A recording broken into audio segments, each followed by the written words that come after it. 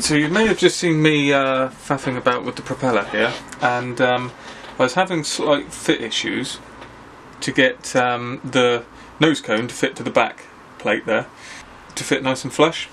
Um, and uh, I want to paint these parts separately and then bring them together, so I just want to dab a bit of um, Tamiya Extra Thin to keep the uh, paint looking alright. So, uh, the issue was, it took a bit of working out.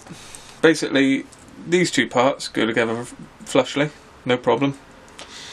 And these two parts go together flush, again, no issue, but it was when you brought the three together. And what it turns out to be is there is a little bit of flash around here.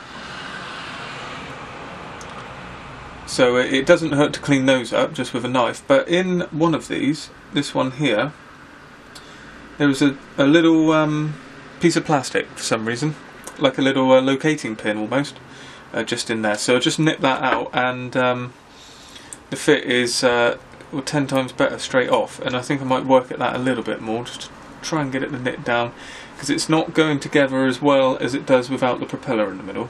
You do need to sort of force it together so it shouldn't be the case, it should all just fall together so I'm going to persevere with this bit. And then um, we're starting to rapidly come to the end of the build there so uh, we'll have a look at the parts left and then um, start thinking about getting some primer on and checking all the um, seams and panel lines etc.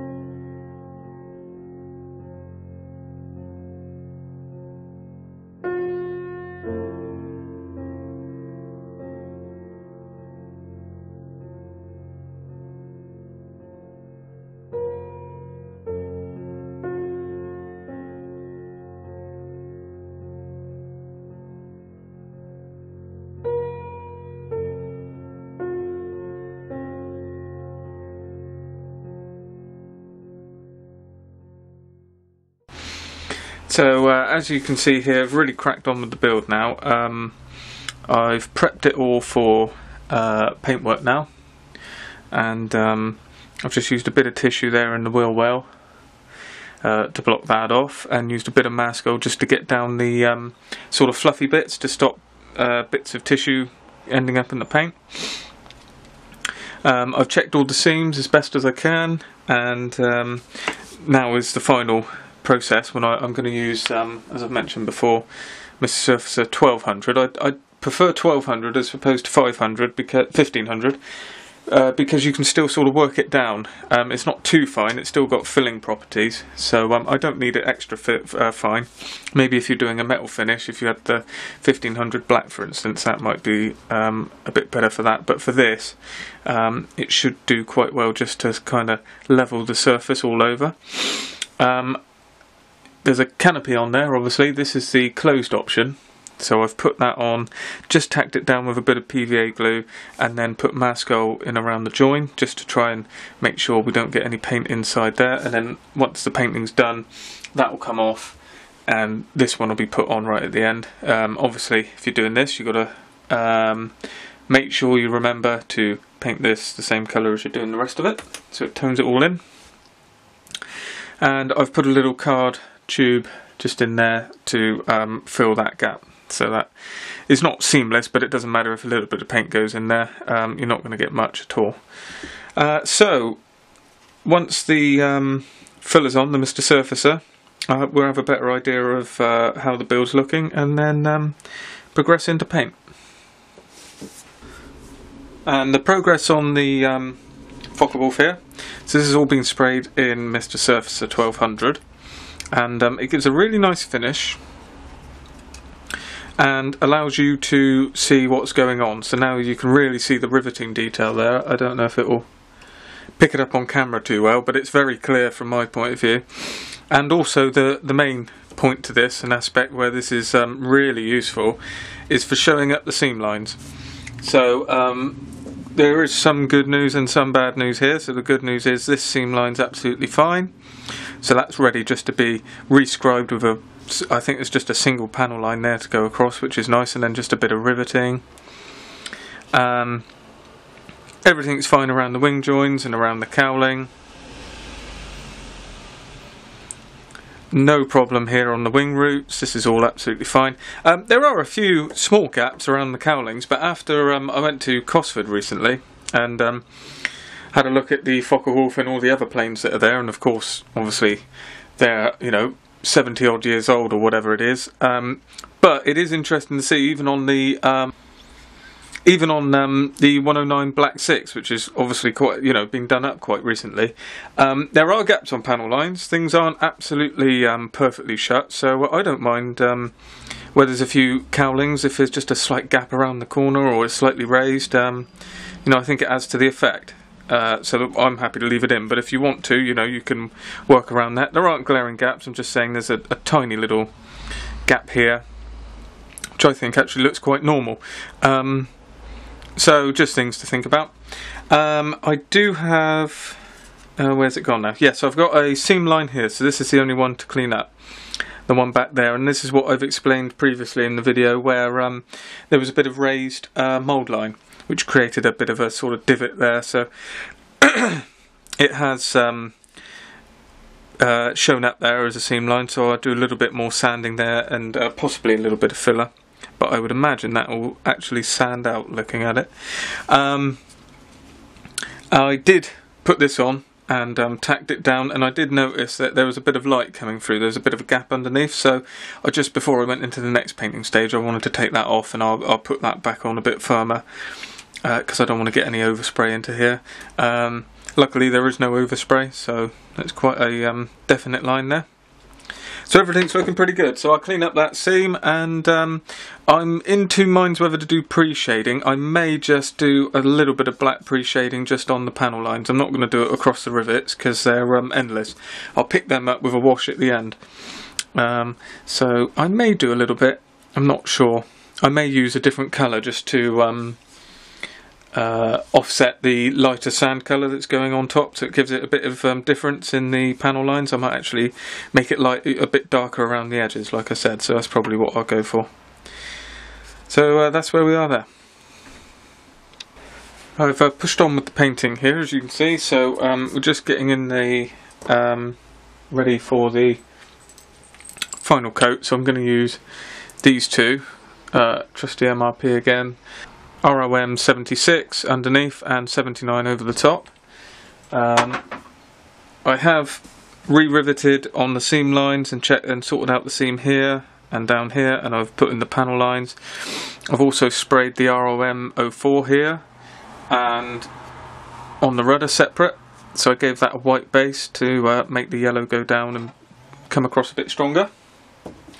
Um, I've also finished the uh, propeller so that's um, RLM 70, uh, 70 with uh, a white tip, and obviously that's 70 again there. So that's those parts ready uh, to come together at the end.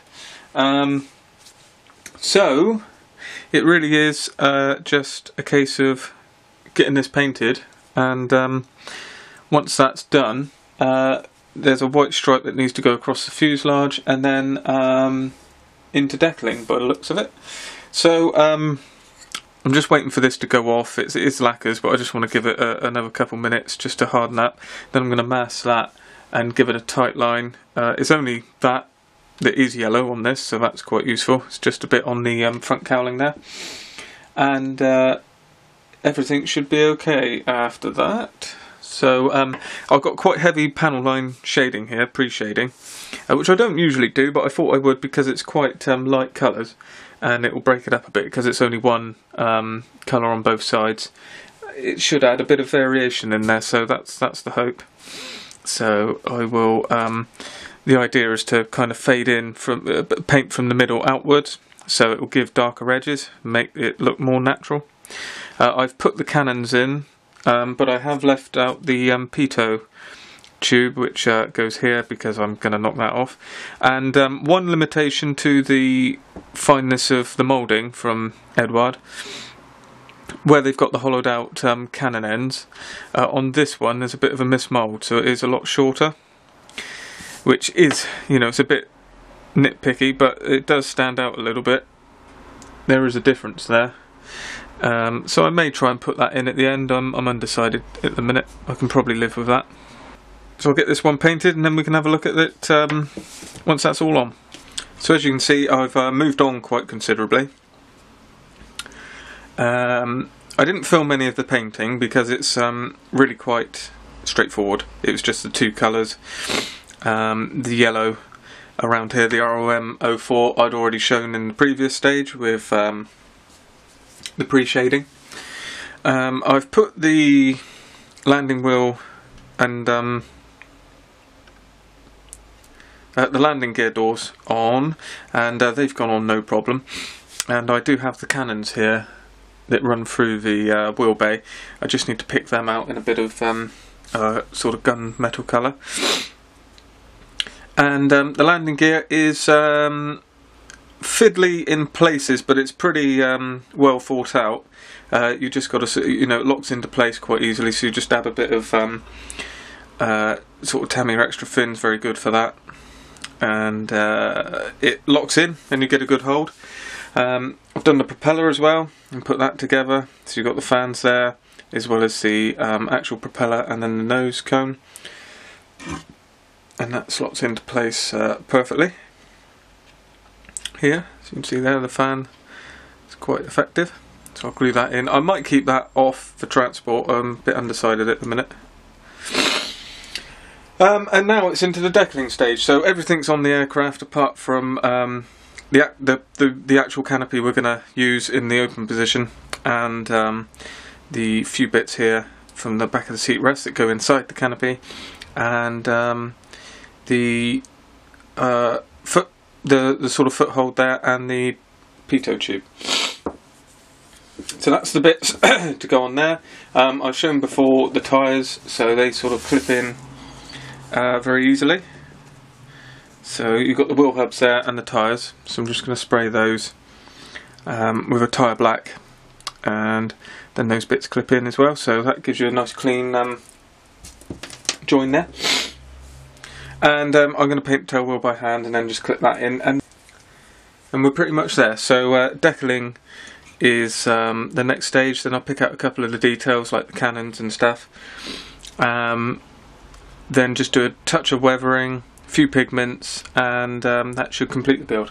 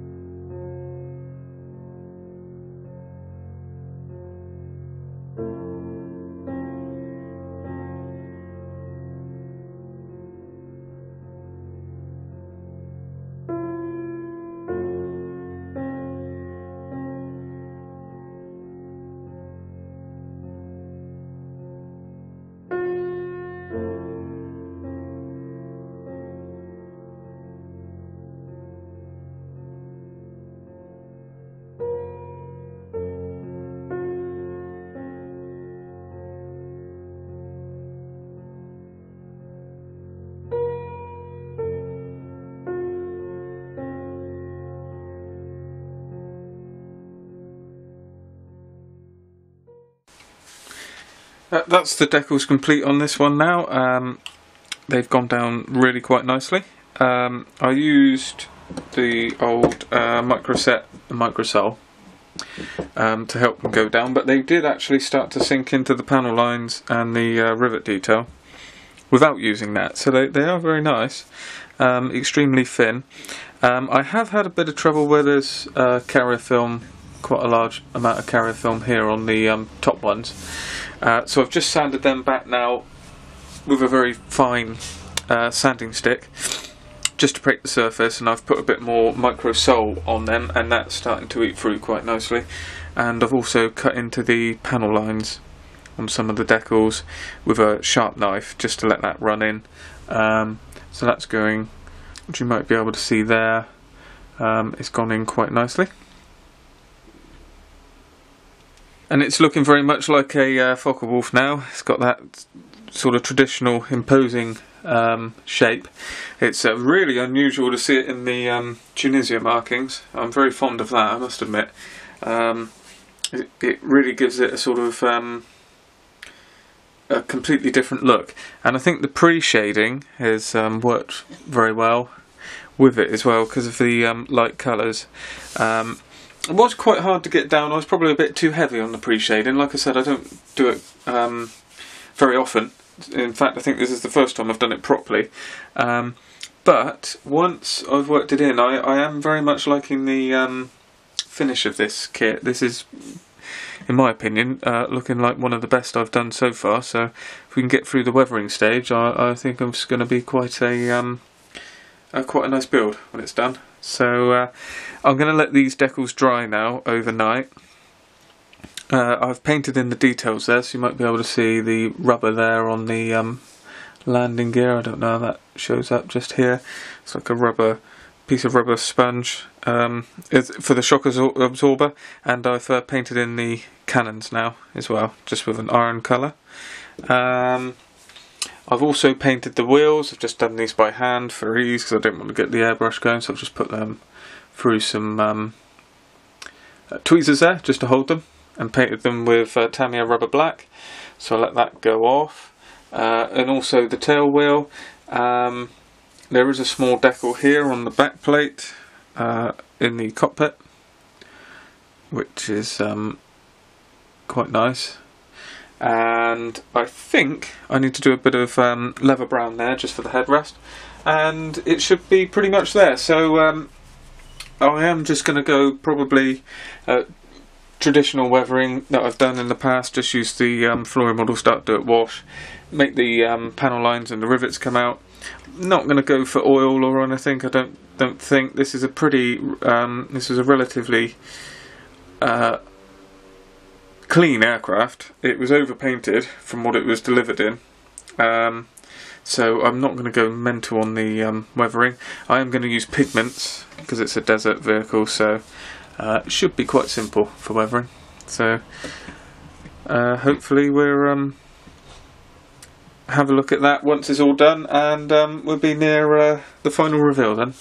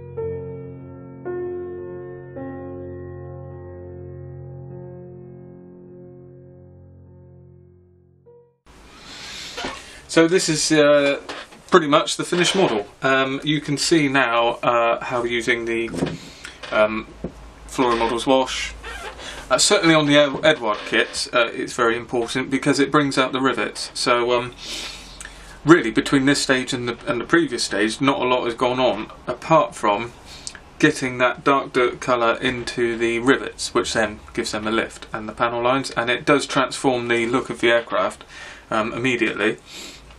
And it's a very simple trick to do if you want to just do minimal weathering or you're a bit worried about um, oils or anything. Uh, this gives you the exact effect, and it's it's very very um, uh, it's a it's a very um, it's a very impressive effect that it gives, and uh, obviously, you know, from my point of view, what have I done here? Not really much. I've I've put this on quite thick and wiped it off. That's that's the long and short of it. But what you have got working in your favour is the kit is so heavily detailed and so well engineered and done that a lot of the work's done for you in that stage and also then taking off the wash and just leaving it in the recess um, areas it really does um, really does look good. So obviously if you wanted to take this further now you could start looking at oil washes um, so you could seal this dark dirt wash in then start looking at oil washes and filters and things like that. Um, with the dark dirt wash you do get um, a bit of a filter effect. Um, not a huge amount because you do wipe it off, but uh, there is. It has changed the tone of the colour slightly. It will have darkened it uh, due to its colour. So that's um, always quite good as well. It works in your favour, and you do tend to find you get sort of patchy bits that I like to leave, because it's not a problem. You know, adds to the overall effect. It's never a sort of one um, uh, one complete sort of finish across a across any aircraft or vehicle or anything when you see it um, in uh, real life. Just seen a bit there in the uh, gun cha uh, gun channels there. Um, so yeah, I'm very happy with it, and uh, the colour scheme as well lends very well to this uh, minimal weathering because because it's a light colour, it, it pops very quickly. So what I'm going to do now is put a matte coat on, which is the usual stuff. I use, uh, which is the um, MRP Super Clear Matte, which I like. It's it's very nice, very uh, thin, goes on really nicely.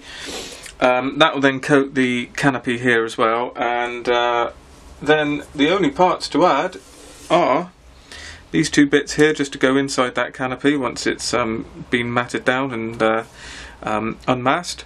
Uh, this canopy then pops off and a little bit of cleanup just if there's any PVA glue around the edges and then we fix this one on. And um, yes, slight bit of touch up there on the inside if um, there's any sort of marks where the PVA glue's been and um, this one's finished then. It's been a really enjoyable build and uh, it's been quite a fast one as well. This has taken me pretty much just um, about six or seven days. Uh, that was one full Sunday and um, then uh, evenings from then on. So um, it's a really enjoyable kit. We'll have a bit of, a breakdown at the end and just uh, talk through a few of the final points, and then um, there'll be final reveal pictures. So this is um, usually the best part of uh, the build when we're starting to get to the end, and um, you can see how everything's done. So uh, obviously the first part here is hoping that um, the canopy is going to be alright. So uh, take that one off first. See what we're left with. Usually Eduard canopy masks are pretty good, so um, you don't tend to need to worry too much. And also, um, the one thing you might see here is a bit of the the flory wash um, gets under it, which is fine. That will just come off with water. Uh, the paint MRP being lacquers.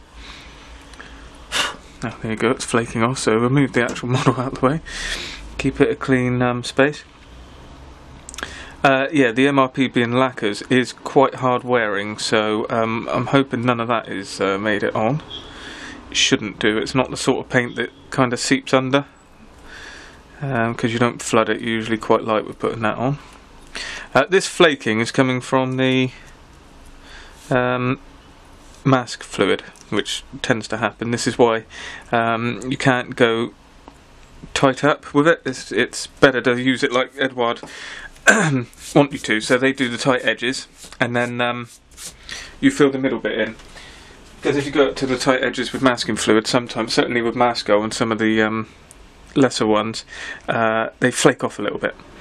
So there you go. See, that's uh, pretty sharp there. Um, there's a little bit of cleanup just on the inside. That's probably come off of the white tack there. Hopefully that'll just hopefully that'll just come out if it's moistened a bit.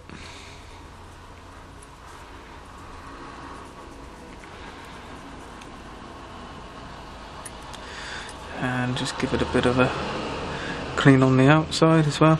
If you do get any problems like with paint and stuff, something I have found is if you can be um, if you can be in control of it, if you use like a cellulose thinner, that usually really cleans everything up. But you've got to be very careful not to go anywhere near the paint with that.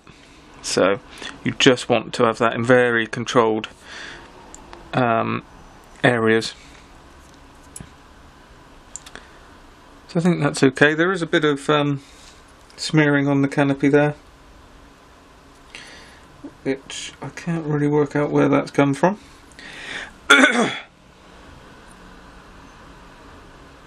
Yeah I think that's okay. It's quite realistic to um, if they're not absolutely crystal clear, because it does seem that not many of these were in the um, in the actual theatre of war. So, you know, a few blemishes here and there are, I actually tend to prefer than having it crystal clear.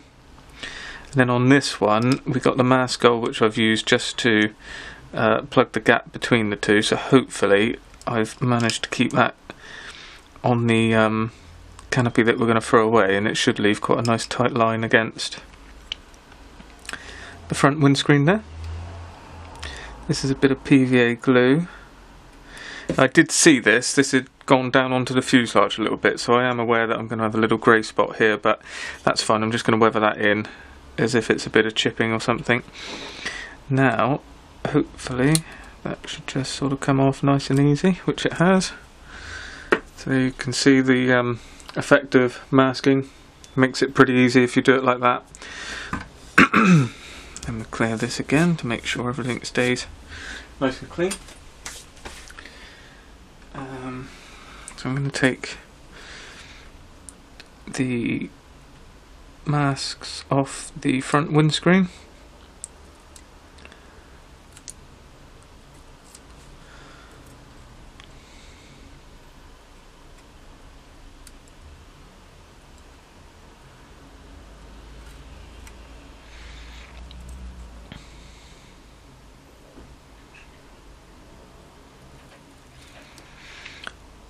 When it comes off like that and it's worked, it's a very re rewarding part of the um, build.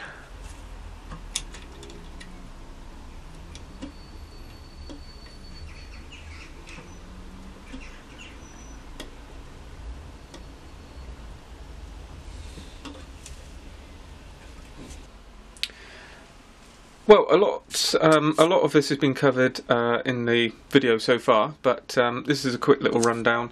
Uh, model's completed now, um, as you can see, and it's uh, overall it's been a uh, very impressive kit from Eduard. Um, there's only well, I wouldn't say there's been any problems. Uh, there's been one or two little um, niggly bits that I've covered in the in the in the video. Uh, so if you're building it, you might find that will help you with those certain parts. Um, and uh, I'm very pleased with it. Um, I think I try and I'm not interested in entering competitions um, very much at all, but I try and build to that sort of level. I find it sort of pushes me. I guess that's what I um, uh, base the model on, you know, how good it is. If it's good enough to go in a competition, that would make me think, oh, that must be pretty good. Um, and if you're thinking to go to the next level, then perhaps something you'd want to think about is um, the decals.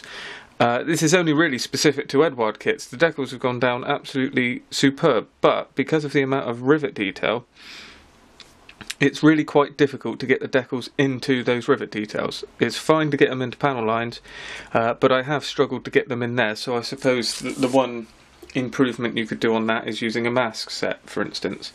Um, certainly on these crosses here, where in between is all um, carrier film. That's a particular problem.